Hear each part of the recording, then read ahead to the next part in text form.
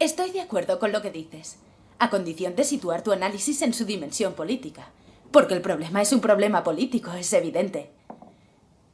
La verticalización del espacio urbano es el nuevo truco del capital para mejor cimentar las diferentes funciones del grupo social.